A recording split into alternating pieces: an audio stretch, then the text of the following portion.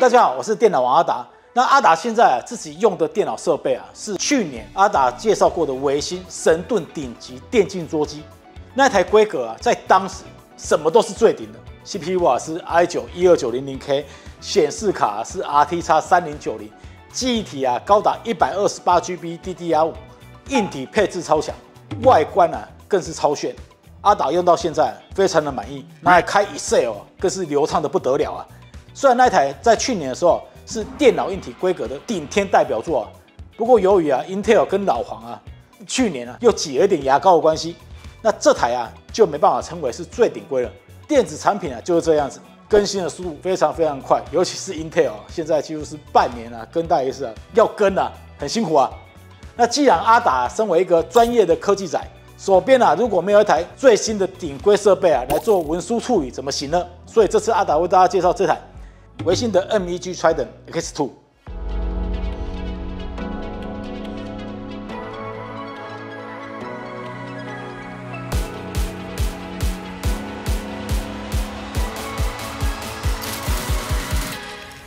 那在我身边这台呢，就是微星最新的顶规电竞主机 MEG Trident X2。在外形上啊，它的设计相当的新奇，棱角分明，切割面更是加上黑色镜面的质感，让它看起来相当的内敛沉稳。那重量呢也相当有分量，哦，大概是十四公斤左右。如果要像这样子直接放在桌子上的话，就要稍微注意一下你的桌子的承重的重量。别忘了，我们还有荧幕、键盘、喇叭等设备哦。如果承重不足的话，建议啊还是放在地上比较好。那这次呢，MEG Trident X2 呢最大的亮点，也是全球首创的功能啊，就是正面这一块 HMI 2.0触控面板。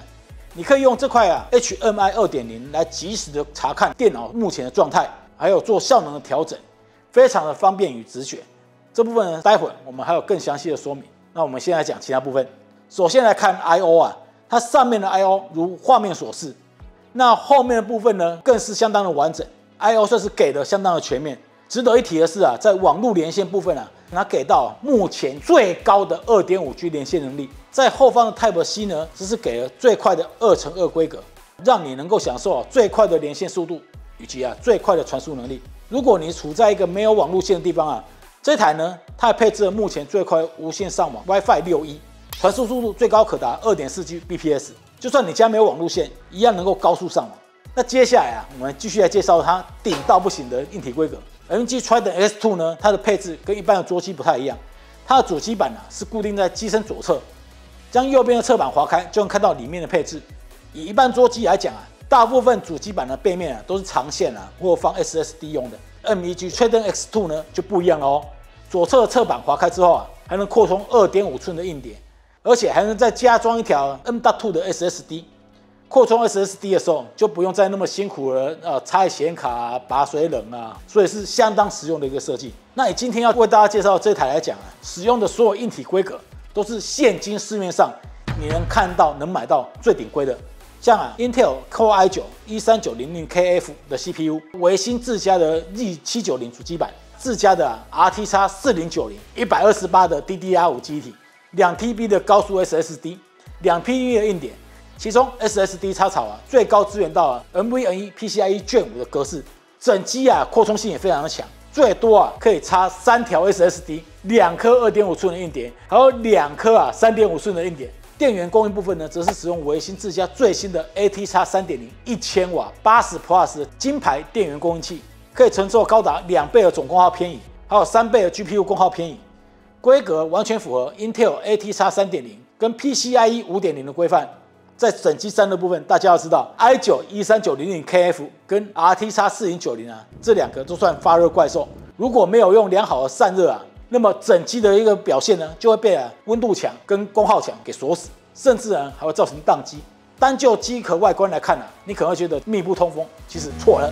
再来搭载维新啊最新第三代的极净风暴冷却系统。在机壳的外部啊，就做多孔的一个设计，前方、上方、下方都有设计吸风口，由上方吸入的冷空气啊，通过维新独家的 Air Buffer 设计，可将周围的冷空气啊形成强力的风流，同时啊还能防止机壳内温度回流到啊显卡那边。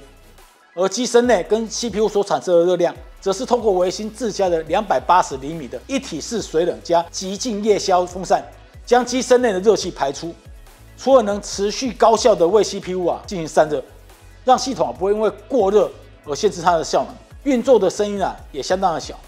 顶贵的电脑当然要配顶级的荧幕啊，才能发挥最大的效益。维新这台 Optis NPG 三二一 URQD 拥有 4K 解析度，还有一百四十四赫兹的更新频率，再加上啊 QE 量子点技术，能够提升啊画面的层次感跟清晰度。MEG Triton S2 配上微星的部分荧幕啊，还可以直接透过 HMI 二点零啊来进行对荧幕的控制。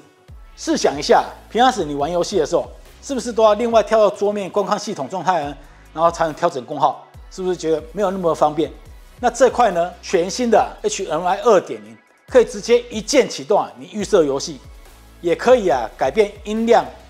机壳的 RGB 灯效。荧幕颜色的调整，还能够快速切换啊使用者情境，只要用手直接点一下，就能直接切换啊极致平衡跟静音这些模式，不需要啊你再跳回啊桌面进行软体控制，就能快速的变动啊目前电脑设定，甚至于你还可以自己变更了 HMI 二点零的图示，这一点呢就相当有趣。此外，你可以通过 HMI 二点零来进行系统监控，让 HMI 二点零呢来为你显示游戏目前的帧数、主机跟显卡温度等等。这样子啊，你就不用再另外开监控软体来影响你的游戏画面。当与部分资源联动的 NSI 荧幕连线的时候啊，HMI 二点零甚至还可以控制荧幕的 GUI 智能电竞功能，可以直接开始准星、调整荧幕亮度等等。对于啊专门玩第一人称射击游戏的玩家来讲，使用 HMI 二点零就可以快速开启荧幕内建的智慧准星或者是准星局部放大功能，真是超级方便。另外啊，我觉得 MEG Trident X2 呢的灯效。也相当的好看，它不像一般电竞机啊那么的夸张，而是走低调而且高雅的风格。Mystic Light 的软体呢，还能切换不同的灯效，让电脑看起来不再那么单调。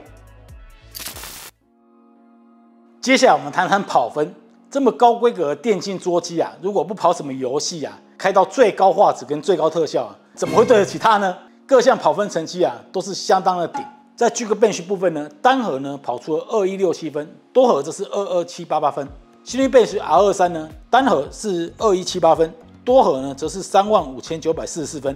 基本上啊，这颗 i 九一三九零零 KF 就是目前在市面上您买得到 Intel 最顶规的处理器。SSD 部分呢，则是使用三星 PM 九 A one 的两 TB 的 SSD，读取最高是每秒啊六千六百九十六 Mega，写入呢也有四千九百多 Mega 的表现。传资料玩游戏啊，保证不卡卡。那在显卡部分就更不用讲了，Timespy 的部分是跑出了三万一千零九十分的成绩，Timespy Extreme 呢则是跑出了一万七千一百六十八分。Fast Try 我们直接测最高阶的 Ultra，它的成绩是两万四千零七分。测试德尔特 S 的光锥部分呢，它是跑出一百三十四点八四帧。三 D Mark 的光锥呢，则是测出两万五千一百三十五分。GF x Bench 的成绩表现呢，也是相当的顶。使用啊最严苛的 PC Mark 十延伸办公场景来进行整机测试，平均得分啊是一万三千五百九十七分。当做我的文书机啊，真的是刚刚好而已。游戏部分呢，我们使用几款三 A 大作来进行内部基准测试。像几年前的三 A 大作啊，《古墓奇兵：暗影》，它平均成绩啊是两百三十九帧；《荒野大镖客二》，它的平均分数啊是一百二十二帧；《赛博朋克二零七七》呢，则是一百零二帧。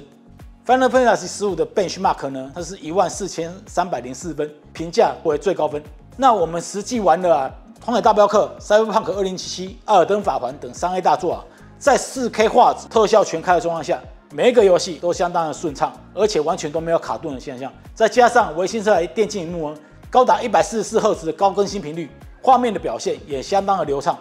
这也归功于这次啊，R T X 四零系列的 DLSS 三深度学习技术，利用 AI 进行分辨以及补帧，让游戏的流畅度啊变得更好。大家可以看看这段三 Punk 二零七七的测试片段。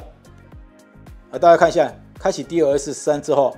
水面的倒影细节就变得相当的丰富。